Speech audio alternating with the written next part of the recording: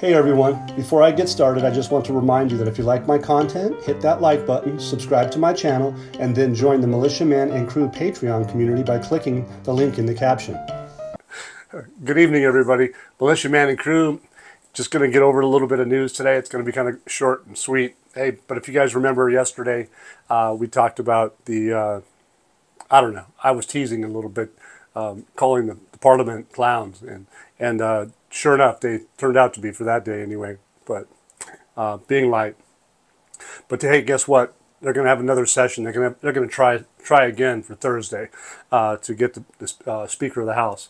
So we're going to see if they can pull that off. Uh, sounds like there's uh, they had a little stumbling going on and some sandal throwing. Um, you know, they took them 11 months to get to this part. Uh, you know, they've been stumbling along the way, and I had to laugh this morning when I woke up. I was uh, thinking about you know the clowns, and uh, when I saw that article or this article that's out today, uh, talking about stumbling, I'm, all I could think of was um, the you know the, the, circus bozos with the big clown feet stumbling around. Uh, anyway, but hey, I wish them the best. They they deserve the citizens deserve to have a a government uh, with three presidencies. It's, it's a constitutional right that, that they have. Uh, that's my understanding of it. So I hope they get it done. Uh, but interestingly enough, uh, some of the laws that they had uh, um, that they were going to try to hammer out um, just didn't get through. Uh, one of the one of the articles we were hoping for was Article 140, the, the law related to Article 140. Okay, but anyway, tomorrow there's going to be personal status, general amnesty, draft, uh, draft law for the military service, uh, and a retirement of the Mujahideen popular mobilization. Um, you know, look, that's got some significant um, interest of mine because if you have uh, potentially, they may have something that they're not telling us, and it, or they've done things that they just haven't told us. Because uh, they did meet yesterday, okay? So they just um, maybe just didn't quite finish everything. So, or um, if they, if they didn't get anything done, that, that would be surprising. But they probably had some things done and maybe kept some of that close to their chest because they don't tell us everything. So, personal status, general amnesty, military service, and the retirement of the popular mobilization. And why is that? Well, why does it have my interest? Is because it has to deal with uh, cutting off a component of interference, outside interference, regional interference. And uh, one of their neighbors close by um, has one of the, has that, and that influence is probably going to go away because it had a lot of money laundering problems, a lot of anti-terrorist financing going on. Um, they had problems with the, the black market because of some of those folks. And you know what? Some of the theme that you're going to see uh, now is that if you're a hindrance, if you will, to the Development Road project, if you're a hindrance to the, the citizens' constitutional rights, if you're a hindrance to any of those things, um, which uh, delaying the House of Representatives is somewhat of a hindrance, uh, delaying uh, votes, etc., on the budget law, not being able to open the budget law, uh, things of that nature are probably going to be frowned on. So those parliamentary people uh, that have been involved in the black market and illicit behavior.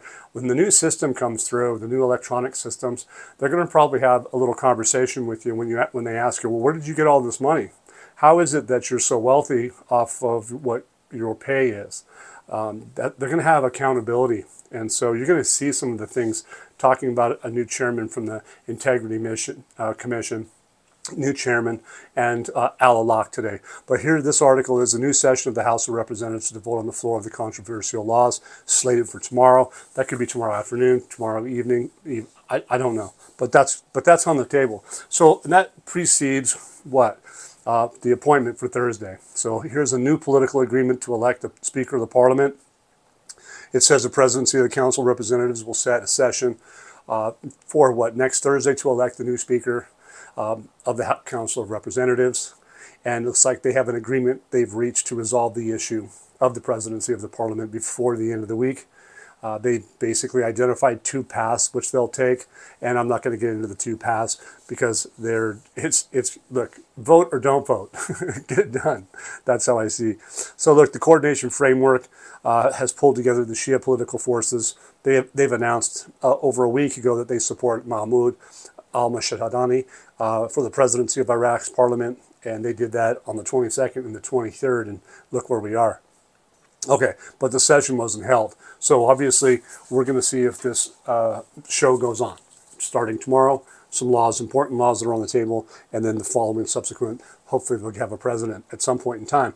Um, what I would like to see personally is that Al Sudani and Al Alak push ahead, do what they have to do prior to that. Um, then it would kind of expose some of those parliamentary people for what they did, which is to hinder the Development Road project. So let's see how it turns out. Parliamentary, parliamentary finance, uh, it says we are discussing the government's preparation for the 2025 general budget, and these are our observations. Uh, you can find this on patreon.com forward slash M-M-A-N-D-C-R-E-W. Come on in, take, take a view. Samson, she, like I said, she, she, she knocks it out of the park when it comes to uh, the amount of content that she brings in so that we can analyze it and get it out to you guys. That's what, the, that's what these articles are all from. Uh, don't forget, uh, say hello to Greg or Gigi. Gigi brings in um, and comp, does a compilation of Dinar chat that's with us and in our rooms. And I would highly recommend that you have the opportunity. You're going to get conversations from the crew and members um, in real time in, in live, and she brings in snippets of that stuff and puts it together so it's easy to get through and understand for the day. So check that out too and give her thanks because she works hard for that. I appreciate all the work she does, her and Samson and all the other crew members. Uh, the Parliamentary Finance, wait a second, it says here the, uh, uh, the Parliamentary Finance Committee disclosed part of the joint meetings with the government agencies to prepare the new general budget law for 2025 and its tables that are related to revenues and expenditures. Okay, so this gentleman, Al Kazimi, states the, the Finance Committee has, has ongoing discussions and meetings with the Minister of Finance, who's Tay Sami, if you guys don't know that, uh, on the implementation of the 2024 budget items, especially those related to revenues and expenditures. As we have found that there's a reduction in spending and complaints from the governance and ministries about the weak actual funding of the spending units. I'll get back to that. The Parliamentary Finance Committee is working on formulating the new general budget tables for next year, 2025, in a realistic manner, away from the increases that cannot be guaranteed to be secured, as has happened in the current year budget 2024. So there's some guarantees that were in the 2024 budget that may not be there in the same manner in the future. That's an interesting thought um, or concept. It says, we seek to have a general budget of 150 trillion dinars, distributed as oil revenues at 120 trillion dinars, non-oil revenues as 30 trillion, and the, so that the budget tables are realistic in which revenues can be collected and spent. Okay, Ministry of Finance goes on. It says the need to activate the revenues of the government departments. So there's a need to activate the revenues of the government departments, including the electricity, Baghdad municipality, the municipal departments, and other services provided by all ministries, in addition to taxes, border crossings, revenues, and customs, as well as supporting the private sector in the fields of agriculture, industry, trade, services, and investment was emphasized. All of this will contribute to increasing the country's revenues in general, stabilizing hundreds of thousands of unemployed workers. Isn't, that's huge, you guys. So think about it for just a minute. We back up a little bit. It says the implementation of the 2024 budget items, especially those related to revenues and expenditures. Well, that's for the Development Road Project. If you don't get that done, what are you doing? You're hindering the process. And this is what you're going to find that there's going to be some talk about that. Um, that the Integrity uh, Commission is going to not uh, stand for it. And so those folks could have some problems in the future. They could have some legal problems for, uh, for not getting done what they are set out to do. And by hindering things, they could create problems for them. Uh, I think it's a critical time for Iraq. Uh, they have to basically, the, the new general budget tables that are on the table have to, for instance, the 2025 budgets, to even get to this far, they've had to have the 23 and 24 budget final accounts taken care of. Don't you remember that? That was in an article just recently that we talked about. Okay, so that 2024 investment side of the budget, to me, because of that, by them saying that they're ready to do it and they have them and they're, they're doing it in, in a manner now, means that they probably have those final accounts taken care of. Uh, will those trillions that they talked about in dinar turn to billions, drop the three zeros. You, you take off three zeros from trillions, you get billions. So we're going to find out. Uh, we'll see. Uh, we should have to see, wait and see what the amendments were completed to get published. They haven't published those amendments yet. We know that the uh, budget 23, 24, 25 tripartite budget was voted on back in June of 2023, but they haven't finished the amendments for 2024, or at least if they haven't finished them, or if they have finished them, they just haven't actually exposed them in the publications yet. So we'll see if they get that done uh, any day. Now, I don't know. Should be. okay, next article is the Parliamentary Committee. It says there's U.S. pressure on Iraq to resume exporting oil, uh, regional oil, via the Ceyhan port, which is in Turkey. It says a mem member of the Parliamentary Oil and Gas Committee revealed Sunday that America's pressures exerted on Iraq to resume uh, oil exportation to Kirkuk via the Turkish uh, Ceyhan port. Uh, resuming oil exports through the Ceyhan is the most important issue that is still pending, and the Kurdistan regional government has made great efforts with the companies to resume oil exports through that port, but yet not have uh, yielded any results. The federal government's under great pressure to resume exporting oil from Kurdistan and Kirkuk, and this pressure comes from the United States and the European Union. So uh, the United States isn't the only one pressuring them. Uh, given that the European countries need larger quantities of fuel in the winter compared to the summer, of course, it's going to get chilly there pretty fast. Guess who else is, is exerting some pressure? OPEC. OPEC. OPEC is exerting pressure at the Basra port, has now become the only route for Iraqi oil exports. So they're, they're being vocal. Turkey. Turkey's expressed their readiness to resume the oil exports from the Kurdistan region, but Iraq has not yet reached an agreement on the cost of extracting the oil. So look, hey, we all know winter months in, in Europe get cold. They're going to need some oil. Companies are losing money in the billions by not put, putting that oil out of Ceyhan. You have OPEC, and I, I say whining about the port only being the only active exporting oil uh, port for Iraq.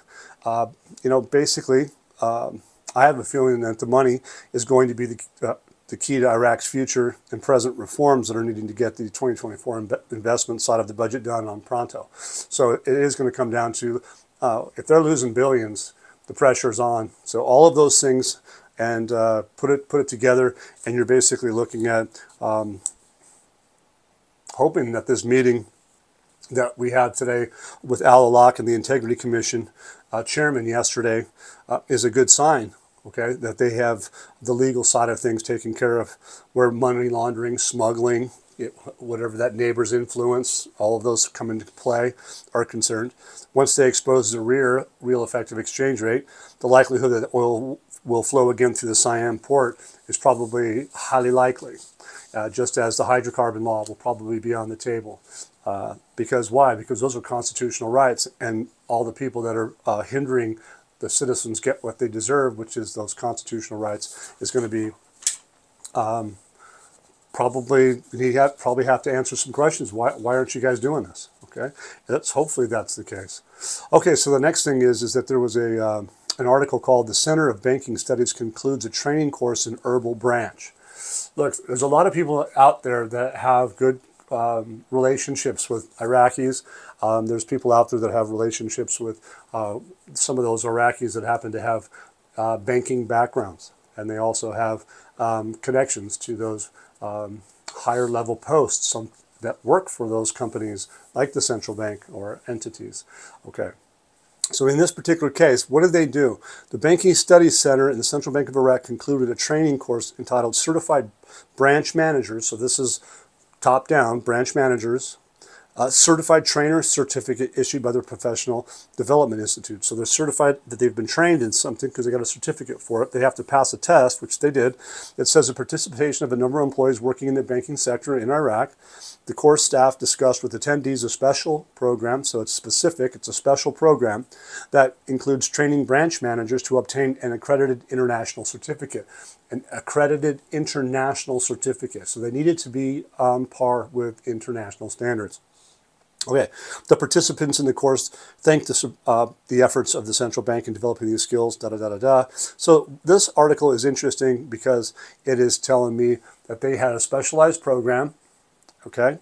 Um, and they would need to have perfection. They would have to practice. They would have to know everything about the ins and outs. And when you get down to specifics, when you have a specialized program, it's going to be something specific.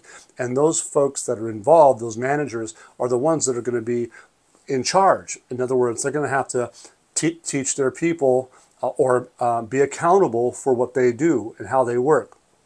Well, Iraq's going through a financial transition. They're going to a digital world.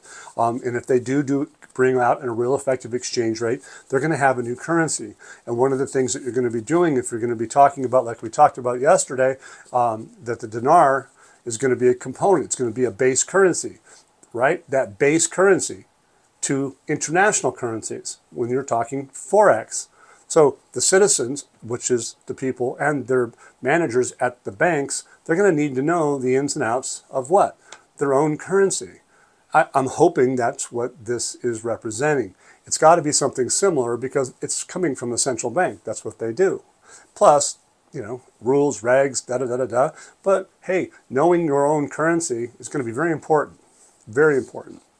So let's hope that that's what's happening. But they did that. They completed it. And when did they finish it? They finished it, it looks like, yesterday. So I'm, I'm pleased to see it. So hopefully you guys understand that and get that. Okay, so the next thing is, is the Prime Minister stresses the importance of coordination to advance construction and reconstruction in Dhi Qar. Okay, so why is this important? Well, it's Shia al-Sudani. He stresses that there's an importance. He stressed the importance of the coordination between the executive and legislative authorities to advance the wheel of construction and reconstruction in Dhi Qar. Okay, remember the integrity guys? They're talking about uh, don't be careful with uh, construction and reconstruction. Don't hinder things. Prime Minister's media office t- uh, made a statement.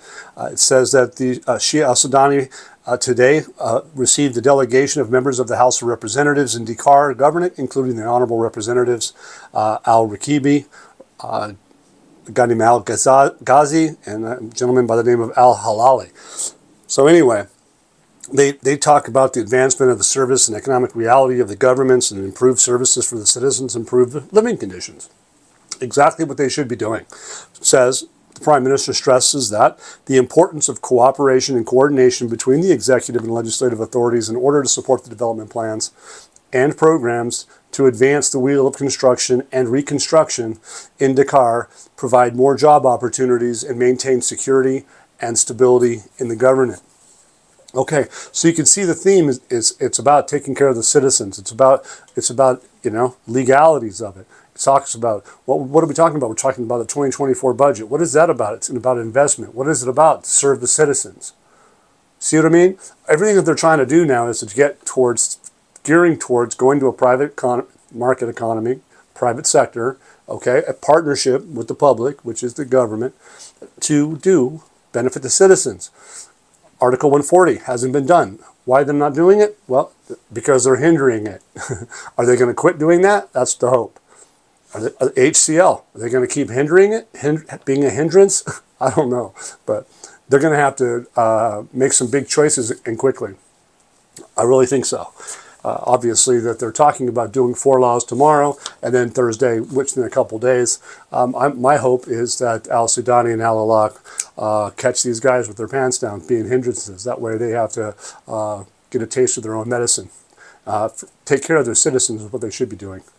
Integrity, the central bank stressed the need for concerted efforts of state institutions to prevent and combat corruption. So here's the integrity, here's the central bank, and they're talking the need for concerted efforts of the state institutions to prevent and combat per, uh, corruption. So they're now they're, they're getting it out and getting it large, and they're making it war- a warning sign. If I if this is where I go with this, I believe it is. So here it is tonight. Uh, the chairman of the Federal Integrity Commission, Muhammad Ali Alami, and the governor of the central bank, Ali Alak, stressed this morning, today, or today, on Monday, the concerted efforts of state institutions to prevent and combat corruption and recover proceeds. Integrity Commission uh, goes on to say that the chairman of the Federal Integrity Commission and Al Alak at the headquarters, they're talking about uh, wishing these? Well, first off, the Central Bank of, of Iraq governor, he congratulates this Muhammad Ali Alami on assuming his duties as chairman of the Federal Integrity Commission. So the guy's an, he's a newcomer. Uh, I wouldn't be surprised if he was groomed for this, and the timing of it is impeccable. Uh, but he's got the new job. He's the chairman of the Federal Integrity Commission. Al-Awlaki is wishing the man uh, success in carrying out the great national mission the great national mission of combating corruption and cleansing the state institutions of its filth. All right, those guys that are throwing sandals in Parliament, not getting their job done for the citizens, I think they're probably on camera. Uh, so hopefully those hindrances go away. It says here that uh, Alami, uh, Al, Al-Lami, sorry, the need for state institutions to combine their efforts to prevent and combat corruption uh, to strive diligently to recover smuggled corruption proceeds, in addition to focusing on preventative awareness raising, educational methods to prevent corruption, and spread and consolidate the culture of integrity among society.